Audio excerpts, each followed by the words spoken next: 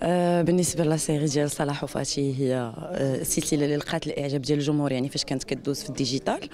و و les personnages هاد المرة انتقلوا للتلفازه قربوا أكثر المشاهد المغربي بزاف الفئات يعني الناس اللي ما عندهمش اللي ما كيوصلهمش في, في الإنترنت ما كيشوفوش ما كي دابا صلاح وفاتي يدخل عندهم للديور.